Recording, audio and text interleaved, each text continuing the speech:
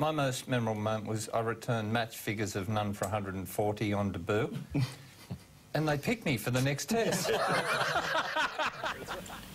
Welcome to the show. Today we'll be discussing um, a way of beating Australia in one day cricket. Uh, I'll be reviewing the Australian test squad that's just been chosen to tour India, and I'll be answering your Twitter questions. But let's lead off with a game plan to beat Australia in one day cricket. I'm a big fan of us in the white ball game, particularly 50 overs. Uh, we're the current World Cup holders, we're ranked number one in ICC ratings, and we're devilishly hard to beat. In 2016, we won 17 ODIs and lost just 11. How do you beat Australia? Well, when you bowl, you've got to get Warner early. I know it sounds obvious, but you do. He's an absolute destroyer of attacks if you don't get it right against him. He wins the power play and he can put you away by the 20th over. You've got to get D Warner early. If you do, you can pressure the middle order. But your fast bowlers have to move it. We saw the other night that once it moves, people play a miss, they nick, you get them out. When it stops moving, hello, flat track bully. And your spinner has to have tricks. There's no use being flat and tidy and economical against Australia on the on the good batting pitches. You've got to be tricky. Imad Wasim, the Pakistan left arm, varies his pace, varies his spin. He's got tricks. He looked as if he could get three or four. I think he got two. He's a chance. You also have to go to the wire against Australia in the field. There's no point doing good work for 40 of the 50 overs and then have it fall away in the last 10. You've got to go to the very last ball of the 50th over. Australia will. You've got to chase down things. You've got to make the catches. You've got to cut balls off in the field that would have gone to the boundary. If you don't do that, Australia will have a competitive total they can defend. And when you chase those totals, um, Starc, Cummins, and Hazlewoods are absolute units with the ball. They're hard to beat. They're the muscle. They're the platform. They're the engine room. They're everything. And it's easy from this uh, study to say, oh, you've got to get on top of them. They're difficult to get on top of. Mitchell Starc with those flying saucers at 145k. Hazlewood with the McGrath metronomic line and length. And Cummins with the extra yard of pace. Gets people out. Doesn't keep it um, uh, doesn't keep it tight, but just gets people out.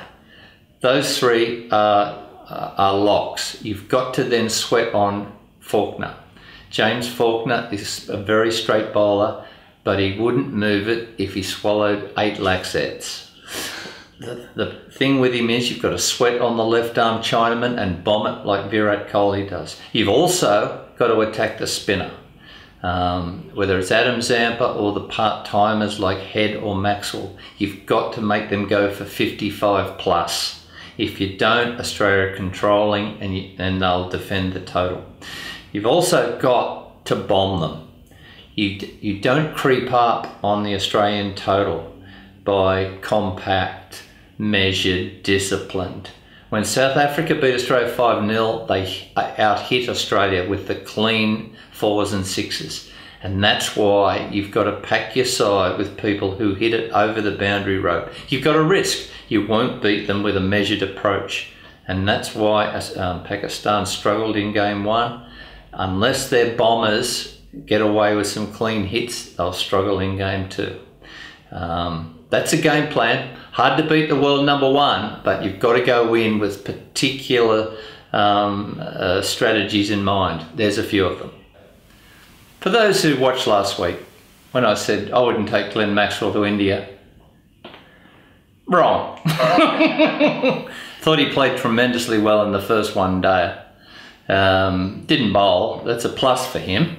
Um, but I mean, he showed me that on certain pitches, Glenn Maxwell can be very effective in the middle order. The Australian selectors have seen it that way They've stacked the side with spinners to go to India. There's uh, Steve O'Keefe, Nathan Lyon, Mitchell Swepson, who we mentioned on this show a few weeks ago, the leg spinner from Queensland. He's done very well to make that team. Ashton Agar's made it.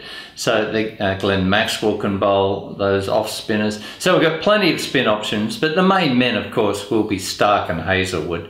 I don't think we can win the series unless they fire up. Starc has terrific form on the subcontinent. He was great in a losing team in Sri Lanka. And again, it's him at the top of, of the order with the new ball and with the old ball. If Starc has a good series, we can win it, um, regardless of how many spinners we've taken.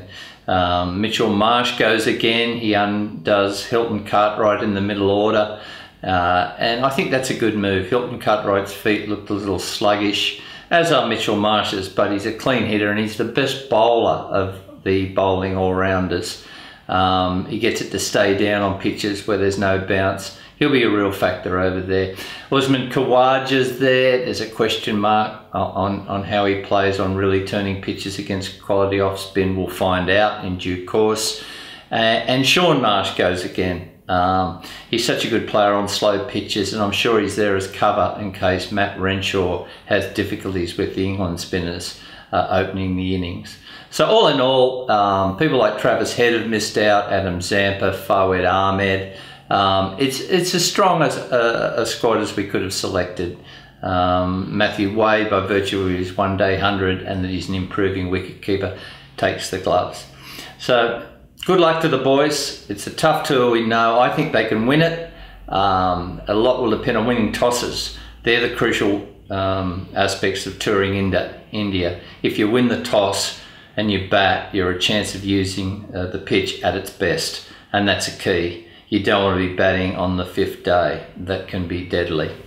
But look, let's look at your questions. Harry Butler asks, why do they keep selecting the Marsh brothers? They've had more comeback tours than Farnham.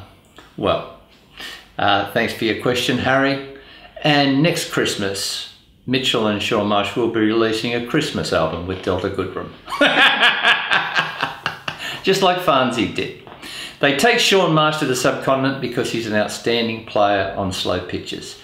Um, like Michael Hussey before him and Tom Moody, they come out of Perth but they play well on slow decks. I'm sure he's there as a, as a cover for Matthew Renshaw. If, if things don't go up, let's see how he goes. Um, I'm a fan of Mitchell Marsh as a bowler, and I think on particular pitches, he's such a strong hitter down the ground. He can really hurt you and build a total if you've got the platform.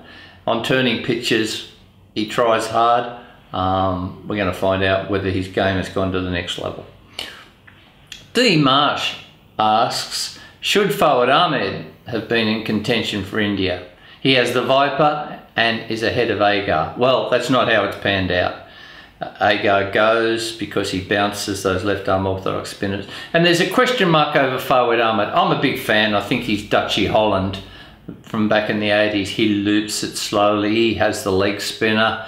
Uh, he has the wrong and he bowled well the other night in a T20. But there's a suggestion that on really slow pitches, he's been vulnerable and I think they took him to the West Indies and to England and he didn't come up.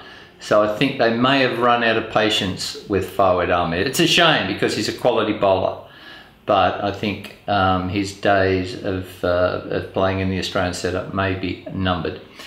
Jack Duffy asks, will we ever see Tim Paine play for Australia? Well, unfortunately, I think Tim Paine's ship has sailed. It's sad because He's been getting lots of runs in short form. He's the neatest gloveman in Australia. He probably makes less errors than any of the other wicket keepers in Australia. But um, they just seem to be moving in another direction now. You need a hurtful number seven, and Matthew Wade is definitely that. Um, the options upcoming, if it's not to be Wade, will probably be young choices. People like Sam Whiteman, Western Australia, Sam Harper, Victoria. And the Cricket Australia 11 um, wicketkeeper who got some runs against Pakistan in a lead-up game, Josh Inglis. Watch this name. He, he, a lot of people are whispering he could be the real deal. Justin Ward asks, um, do you think Bangladesh will ever be a force in world cricket? Well, I do. because they have a leg spinner who is very much an outstanding bowler. They have a left arm quick bowler who's as good as Mitchell Starc, Uh, and they have Shakib Al Hasan and a couple of other batsmen.